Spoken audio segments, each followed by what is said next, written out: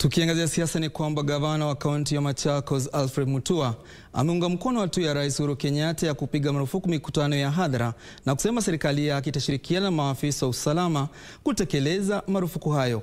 Chama cha maendeleo Chapchap cha gavana Mutua kimesimamisha kampeni zake za kiti cha useneta kwenye uchaguzi mdogo ujao utakaoandaliwa katika kaunti ya Machakos. Haya yanajiri huku aliyekuwa waziri wa kilimo Mwangi Kiunjuri akiwahimiza watu wa eneo la Mlima Kenya kuepukana na viongozi wa kisiasa wanaolenga kuleta migawanyiko.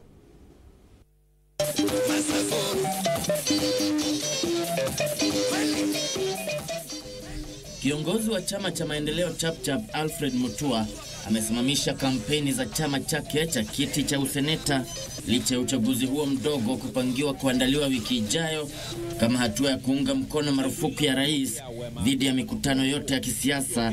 Gavana huyo wa kaunti ya Machakos ametahadharisha kuwa mtu yeyote atakayepatikana akikiuka sheria hiyo atakabiliwa ipasavyo. Rais alisema kuhusu maneno ya COVID na mimi kama candidate ya maendeleo Chapchap katika hiki kinyangirio cha kuwania uh, useneta wa Machakos uh, na support hiyo directive, na mimi kutoka leo nimesuspend rali zangu zote.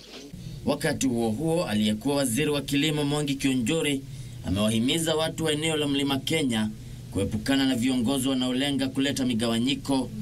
kionjori amewahimiza Wakenya kuwachagua viongozi kulingana na kiwango cha kujitolea kwao kuwatumikia na wala si kulingana na mirengo ya kisiasa. Kwa sababu hatuwezi tuenda kwa ndebe ati kwa sababu tumeitwa tukashaguane. Sisi hatutafoti kama mashini.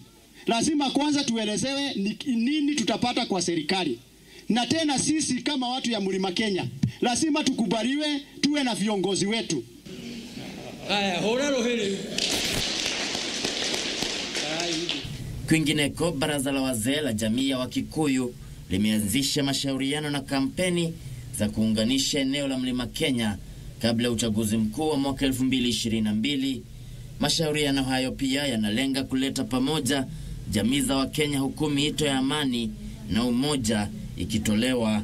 The, the constitution has recognized every single culture in our country and we are supposed to lead by example being so populous we should for sure feel very very comfortable interacting with everyone because culture and the diversity of our culture is the beauty we should really uh, uphold Wazee hao wamesema watakutana na viongozi wa kisiasa na kijamii na pia viongozi wa kidini kwa lengo la kuunganisha jamii za eneo hilo.